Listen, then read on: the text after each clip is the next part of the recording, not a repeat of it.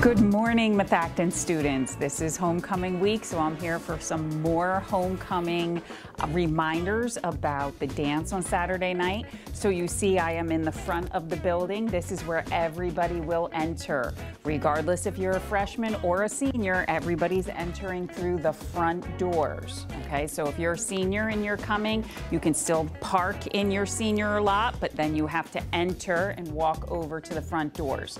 When you come into the front doors, you're going to see administrators here. We are going to wand you, which just means that we are checking to make sure you don't have anything dangerous on. There will be no, um, you will be not allowed to have any bags with you. Uh, girls, if you're keeping a little bag for um, lipstick or lip gloss or your ID, that's fine. We will just ask you to open it. Once you come in the front doors and we go through your things, then we will head on down to um, the gym area and they will break you into two sections. Some people will go straight ahead and other people will go to the right and that's where you will check in. Remember, you have to have your student ID. It's very important.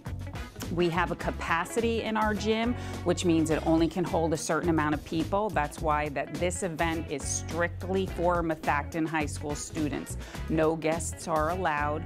Um, just because of our capacity issues. So some of you will be signing in to the left with your ID, some of you will be signing off to the right, and then we will have a great time at the dance. Remember, all of our school rules apply. You need to be respectful when people are signing you in. If it takes a couple minutes because they're looking for your name, you are respectful. You are responsible, which means you are not bringing or doing anything inappropriate. And of course, we are always going to act safely. Okay? Make good choices. This is meant to be a fun time for high schoolers. Everybody is going to have an amazing time, but remember to stay respectful, responsible, and safe. Have a great day, and I look forward to seeing you all dressed up on Saturday night.